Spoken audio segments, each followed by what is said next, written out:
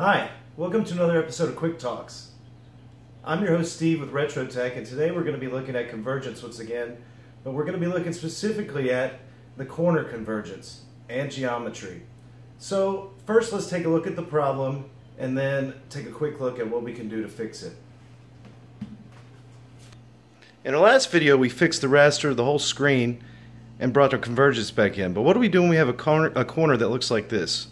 You see, we've got convergence along our white lines where they're intersecting with the red lines, but also we have bad geometry there in the corner because something's causing that to happen. Let's take a look around the back side of the monitor and see if we can figure out what it is.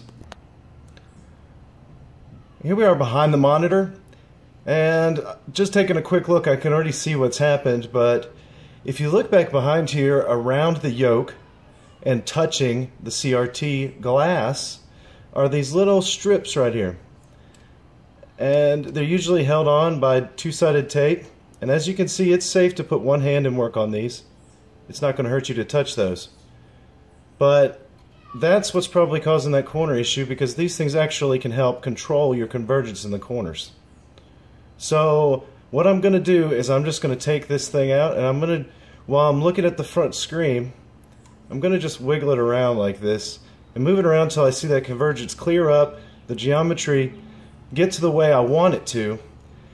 And since that's the specific corner, it's going to kind of match back here on the back of the PVM what corner we're looking at. So that corner was bad. This is the uh, piece of uh, plastic tape that's going to control that.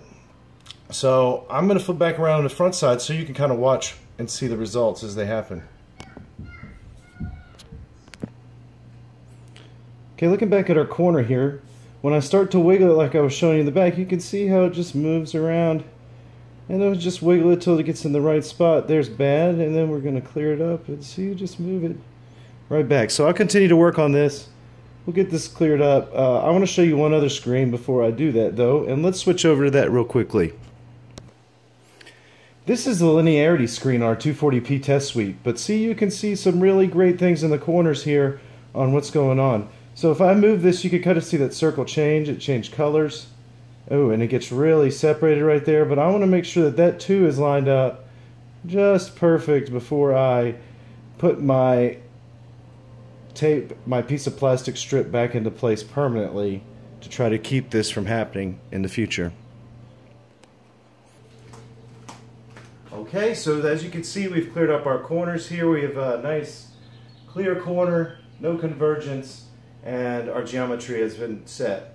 So just one quick note, these are what those strips look like when you take them out. And uh, you have one here that's actually a nice factory made one, and then one that came out of an older model that's actually just a piece of tape with a magnetic, little piece of magnet, uh, very thin, taped to this just thin plastic.